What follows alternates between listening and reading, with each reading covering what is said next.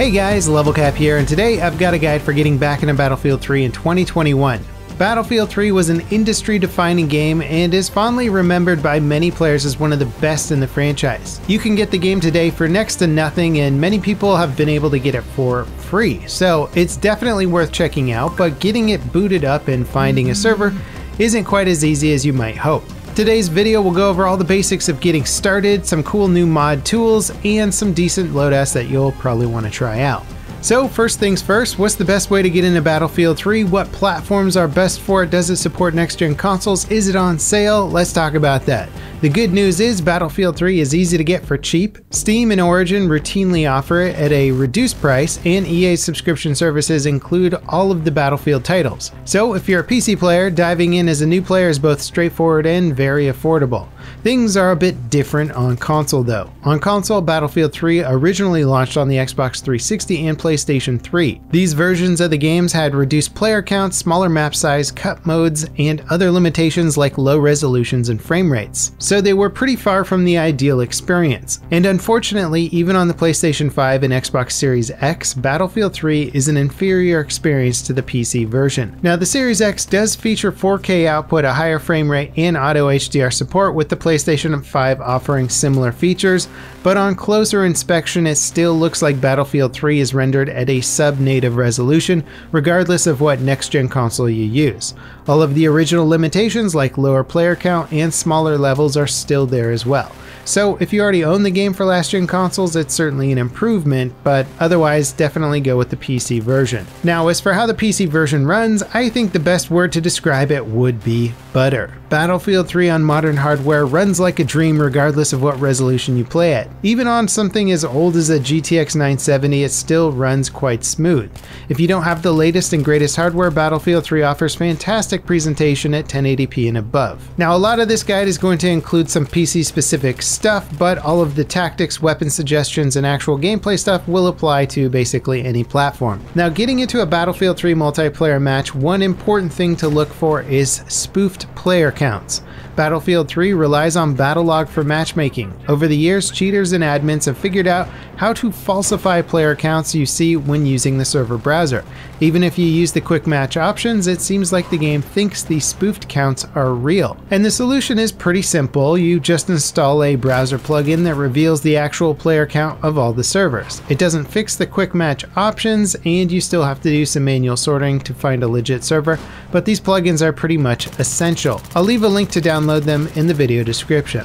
There's also some technical limitations to keep in mind. Battlefield 3 servers run at 30 Hz, but the client send rate is only 10 Hz. And while 30 Hz is pretty playable, 60 Hz is kind of the modern norm, and well, 10 Hz just isn't fast enough to keep up with close quarter combat. Today, that means a lot of dying around corners, missing shots you thought hit, and close quarter gunfights that can feel wildly inconsistent. It's not an awful experience or anything, but if you're very used to 60Hz gameplay on modern FPS shooters, well, you might notice the difference.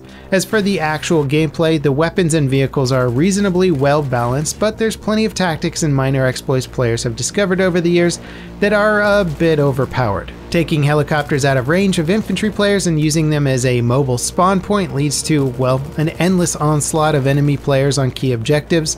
The explosive spam can get absolutely bonkers on any map with tight choke points, and well, prepare to die a lot to vehicles as they are incredibly fast and pack some serious munitions. Oh, and then of course there is suppression. Dice please. Battlefield 3's suppression system is insane if you're not used to it. Getting shot at by basically any weapon instantly tanks your accuracy and blurs your screen. It's one of those mechanics that makes sense from a Hollywood spectacle perspective, but its impact on the gameplay is so frustrating. Not being able to return accurate fire on somebody who missed their shots feels like an unnecessary penalty that you're forced to suffer to make worse players feel better. The good news is, when it comes to playing Battlefield 3 today, there are some incredible tools out there that improve on pretty much every aspect of the experience. The Venice Unleashed mod client for Battlefield 3 recently went live and it offers some great features. High tick rate servers, no blue filter, and most importantly, no suppression. Plus, there's other features like 100 player servers, custom modes, and more. On top of that, there are some big mods on the way, like a Project Reality mod, aka Squad Total Conversion. For the here and now, I think Venice Unleashed is probably the best way to return to Battlefield 3 if you're a veteran player. Though I will say the improved tick rate and boosted player counts do seem more like gimmicks than valuable features. Battlefield 3 was built on the technology of its time, and pushing it beyond that just doesn't seem to do all that much good. But the servers are running pretty standard rule sets, and I will say the quality of the servers are solid even compared to the more popular third party server providers out there. Many of the standard servers that you would find outside of Venice Unleashed would be running Metro 24 7 or have weird hardcore rules or tons of instant vehicle spawn. But despite being a mod client, Venice Unleashed servers typically run with vanilla rules with stuff like suppression turned off. As for getting Venice Unleashed up and running, the process is pretty straightforward. Just download their client installer from their website, sign in with your Origin ID, and you'll be good to go.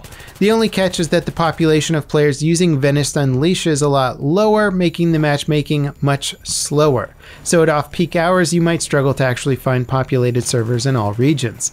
That said, with big mods on the way, I expect Venice Unleashed will only get more popular over time. Now, if this is your first time diving into Battlefield 3, I do have some advice for weapon loadouts and classes you can use to get started. The Assault class, aka the Medic, is probably the easiest and best starting class. You get assault rifles, which are some of the best weapons of the game, and the role of the medic is extremely straightforward. Heal your teammates with med bags and revive them with defibrillators. That's about all you have to do to play a medic effectively. Engineer and recon players have a lot more nuance to their roles, and support is basically a bullet factory for your teammates, and it has some insane weapons. If you decide to start with the assault class, the M416, the M16A3, and the AEK971 are probably the best weapons for the class. Now it is practically a meme just how much I love the M16A3 at this point, and I don't think you can go wrong with it. It works close quarters, long range, and everywhere in between. It's also the gun you start with as an assault player. Later unlocks like the F2000 and the G3A3 can be a ton of fun, but they do require a little bit more experience to master. One pro tip I'll give you is that Battlefield 3's gunplay is all about bursting. Don't just hold down left click and hope you hit your target. Shoot in quick bursts of 3 to 5 shots at further ranges. That maintains your accuracy and makes it more likely that you'll actually hit your targets and take them down quicker. Now when it comes to weapon attachments, this is an area that DICE just took a one size fits all approach. The red dot, heavy barrel, and foregrip are pretty much the only attachments worth using on the majority of weapons. If you need a little more zoom, the holographic sight adds a 1.5 magnification. Beyond that level of zoom though, most weapons are going to get real hard to use, so I don't recommend going beyond that. The heavy barrel gives you better ADS accuracy, reduced bullet drop, and increases your damage over range combined with the foregrip makes a deadly attachment that gives you a significant advantage. As for the other classes, the M4 for engineers, the M249 for support, and the M98B for recon are some of the best weapons you'll find. Like with the assault class, these weapons, except for the M98B, are unlocked either from the start or very early on in class progression. As for starting with the recon class, the SV98 is a great bolt action rifle and offers some of the best hip fire in the game. What makes the M98B so great in the long run is that it has the high highest bullet velocity of any sniper rifle, making moving shots and distant shots much easier. Now, if you're in a hurry, you can buy the game's shortcut kits or just join one of the many 24 7 Metro inflated XP servers that will likely get you entire class unlocks in an evening. When it comes to hyper-specific class mechanics, they are a bit beyond this video scope, but my advice is to use your class's gadgets as much as possible. If you have an ammo crate, make sure to place it down when you're around teammates to resupply their ammo. The support C4 gadget is the most effective anti-tank weapon in the game. Don't be afraid to sacrifice yourself while using it, just make sure you get at least 3 C4s on the tank before pulling the trigger to make sure that you get a one-hit kill. As a recon, your respawn beacon and motion sensors are invaluable for providing squad spawns and detecting enemies. And engineers will make short work of vehicles with their wide variety of rocket launchers. But you'll want to aim for the back of vehicles whenever possible and try to land a shot as straight on as possible. Anything else will deal slightly less damage. When it comes to leveling up vehicles, well, this is one area of Battlefield 3 that can be a bit of a grind. The best weapon upgrades for them are buried at the end of the unlock progression, so you're going to be a bit squishy and outgunned when compared to other vehicle users. If you want to get into vehicle combat, my advice is to do it from a distance. That's a good general rule of thumb, even for veteran players. If you get surrounded by engineers or support players, well, you're going to get taken out very quickly. The vehicles in Battlefield 3 are extremely maneuverable, so yeeting out of a bad situation is totally doable, but that does require decent map knowledge and driving skills. When you're first starting out, use the vehicles to learn flanking routes and the layouts of maps. Stay at medium range so you're just beyond striking distance of infantry players. And make sure you're not driving headfirst into a fight you can't win. And if you have a gunner or squad riding with you, you can let them focus on infantry while you fight other vehicles. Now, my final bit of advice for Battlefield 3 tactics comes to the modes. Conquest, Team Deathmatch, and Rush are probably the only modes you're going to find populated servers for. Conquest is like large scale domination, the more flags your team holds, the better. Spawn trapping is a big aspect of Battlefield 3, so if you can help your team lock down the flags closest to the enemy spawn, well, you're going to gain a huge advantage for your team. Just don't neglect the more central objectives. When one flag falls, teams will often try flooding a more central objective like a Trojan horse attack. You should spend your time transitioning between the most contested objectives and defend them until it seems like the enemy team has moved on.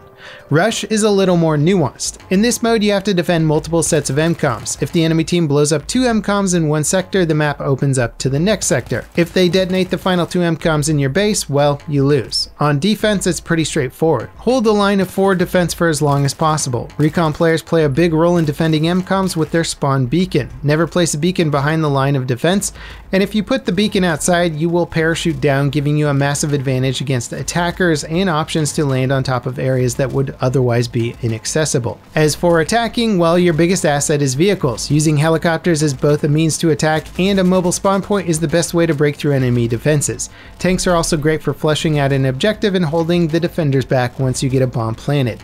Team Deathmatch is, well, it's Team Deathmatch. Get kills, try not to die, and notice that the spawns will rotate as you push from one side of the map to the other. Being aware of these spawn shifts can give you a pretty big advantage. So overall, would I recommend playing Battlefield 3 in 2021 over, say, Battlefield 4 or Battlefield 1? Well, it's definitely got a nostalgia appeal, and if you've never played it before, it does hold a historical significance in the franchise. The game also has some of the best map design in the franchise, which frankly we haven't seen since. I've got a lot of fond memories of Battlefield 3 from its heyday, but the game has certainly started to show its age in some regards. Venice Unleashed, though, could bring a bright future for the game, but none of its highly anticipated mods are playable just yet. It's entirely possible we'll see some awesome Battlefield 3 mods in 2021 that will revive the game in significant ways. The engine is still very powerful and incredibly well optimized, but more modern games already offer the complete experience as well. Again, you should be able to pick up Battlefield 3 for next to nothing these days thanks to sales and discounts. Give it a shot if you've never played it before. Just know that it is one of the most impressive games of its time, but it does show its age in some ways, although it still looks miles ahead of most other games that came out in 2011. And that wraps it up for this guide today. What are your thoughts? Do you think Venice Unleashed could kickstart a Battlefield 3 revival? Are you still playing Battlefield 3 after all these years? Let us know in the comments down below. Be sure to subscribe if you like this video and I'll see you next time. This is Level Cap signing off.